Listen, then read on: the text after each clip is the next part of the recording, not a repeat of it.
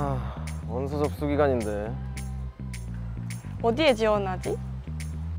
우리 호텔 항공 관광 경영학과 어때? 호텔, 항공, 관광 경영학과? 호텔리어? 음, 항공 승무원? 서비스 하는 사람? 아니지, 아니지, 아니지. 서비스? 그 이상이지. 우리 학과만의 특별한 게 있지. 그 이상? 그건 바로 자기 자신과 여행하는 사람들을 새로운 세상으로 안내하는 거지. 아주 안전하고 편안하게 말이야. 호텔 항공 관광 경영학과 완전 꿀잼이야.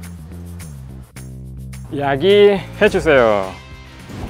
이곳이 바로 꿈을 키우고 그 꿈을 현실로 만드는 곳 상지대학교 호텔 항공 관광 경영학과야 꿈만 꾸던 상상 속에 너 네가 펼쳐갈 무대는 과연 어떤 모습일까?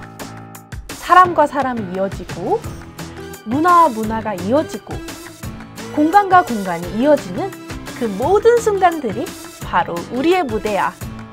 일과 휴가, 일상과 여행의 조합 속에서 우리는 사람과 사람을, 공간과 공간을, 그리고 문화와 문화를 잇고 새로운 경험을 선사하지.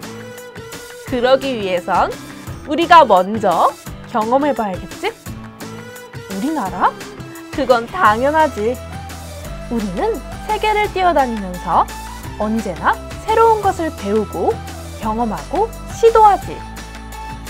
다양한 사람들을 만나고 상상만 하던 나라를 찾아가고 본 적이 없던 신기한 음식들을 맛보는 거야. 우리의 무대는 바로 그 안에 있으니까.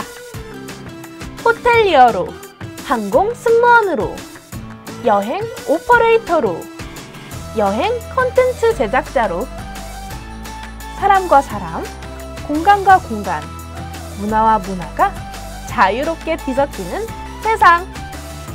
그 속을 살아가는 사람들이 다 함께 행복할 수 있도록 새로운 경험을, 색다른 시간을, 몰랐던 발견을, 잃었던 웃음을, 잊었던 여유를 이룰 수 있는 우리는 세상을 이뤄주는 관광인입니다. 세상을 잇다 호텔항공 관광경영학과